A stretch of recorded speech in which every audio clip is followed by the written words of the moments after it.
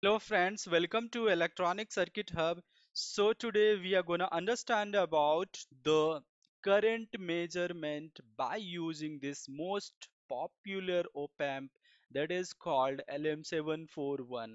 That means how you are going to measure your load current by using LM741 IC with the help of this LM741 op-amp how you're gonna measure your current for your any load. Let's say if i talk about the load it could be a motor it could be any resistive load or inductive load whatever load you are using for your application. So how you're gonna measure the current of your load with the help of lm741 op-amp. So in this video we will understand how you're gonna design the current measurement circuit for by using op-amp in order to measure the load current right? So so if you look at here this is very simple circuit here. I have used lm741 ic and if you look at this this is called basically this this basically is called the low side driver.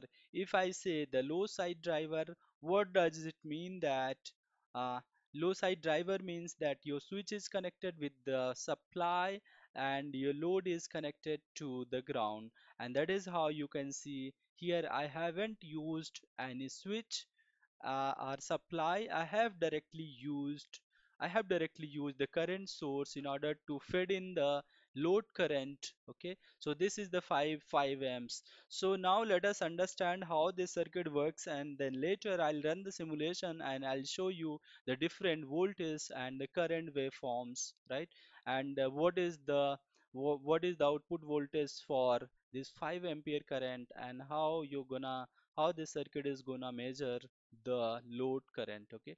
So uh, this is basically a very popular op-amp LM741 and uh, if you look at here this is the positive terminal so I have connected V plus. If I say V plus that means the supply voltage for this op-amp and if you go and look at at this uh, net this is V plus net so I have used here 12 volt source.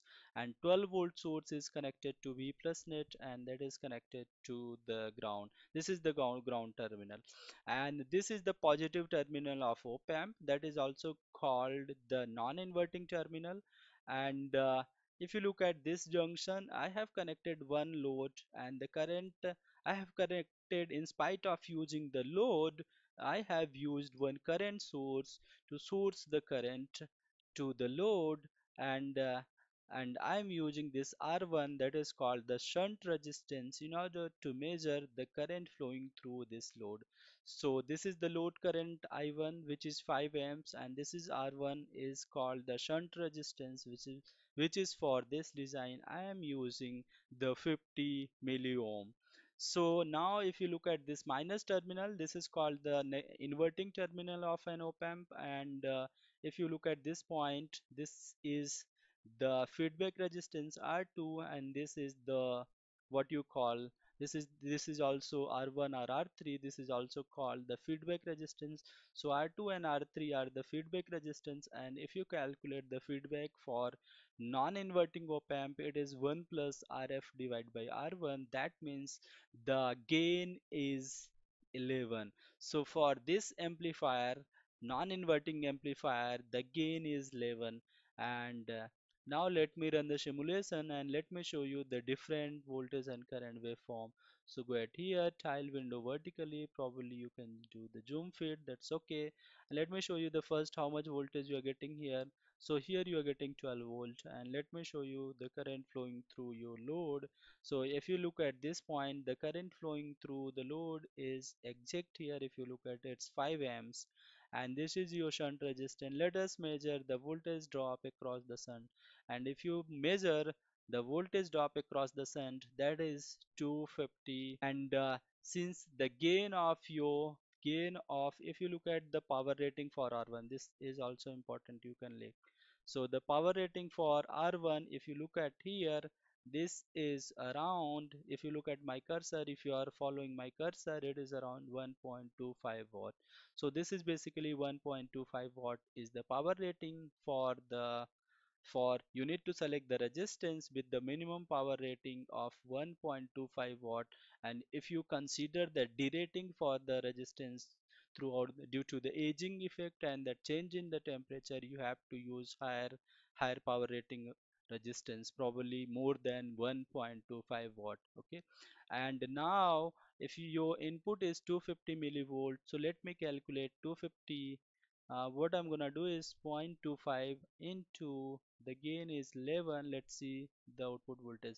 And if you look at by using the formula direct formula for non-inverting terminal the output voltage should be 2.75 volt and now let me run the output voltage and show you what is coming.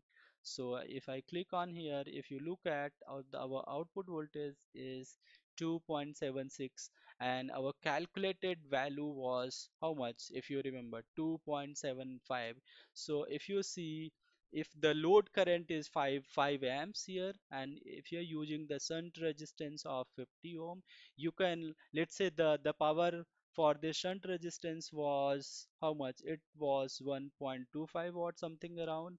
And if you want even lower down the power rating of your shunt resistor you can even use 10 milliohm or 5 milliohm resistance if you're dealing with the high current. Let's say if the current here is very high for 10 let's say 10 amps in this case you have to re- reduce your shunt resistance value. Probably you can use 5 ohm or 10 ohm okay? In order to reduce the power dissipation across this resistance because if you use 50 ohms it is gonna be uh, uh, you need to resistance which can handle the higher power rating right?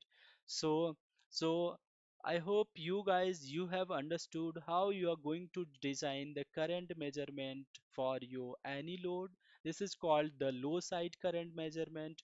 How you're gonna connect the LM741 how you're gonna design the circuit. And uh, if you have any further question feel free to ask him in comment section. From the output output state I'm not explaining here how you're gonna use your signal conditioning circuit in order to read this voltage in the microcontroller and how your microcontroller gonna process that analog signal and takes the decision in case if there is a short circuit or overload happens at the load uh, there is a huge current will be flowing through the switch and the load. In this case how your microcontroller takes decision based on the loading condition of your load. So hope you understood